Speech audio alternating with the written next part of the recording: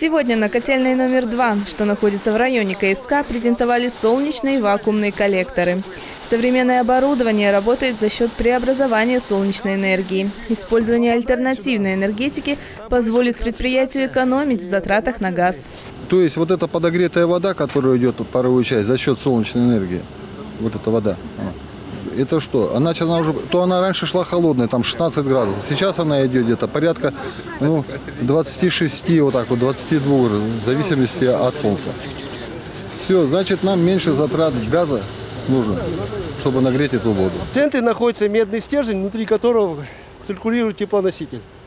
То есть этот медный стержень вообще даже вот э, может разогреваться даже свыше 100 градусов. Коллекторы здесь работают около месяца. И по словам директора предприятия, за 11 паспортных дней этого месяца благодаря гелиосистеме было получено чуть больше одного гигакалория энергии дополнительно, то есть бесплатно. Но по-настоящему оценить эффективность возможно только летом, когда коллектор будет работать в жаркие дни. Тогда-то экономия газа станет заметней. По подсчетам руководства КТЭК, в течение 10-12 лет оборудование себя окупит. Она же может работать и зимой, если там теплоноситель ну, добавить туда не замерзайку, правильно, да?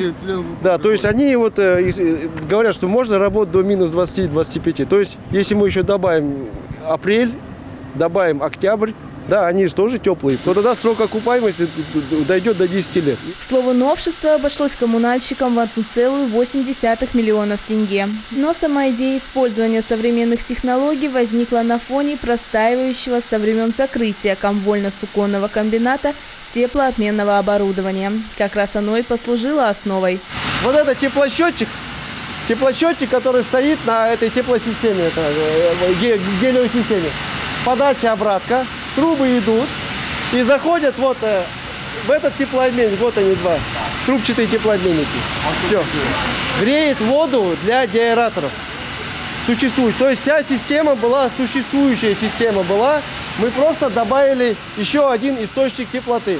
Такое новшество выгодно не только предприятию, но и самим жителям.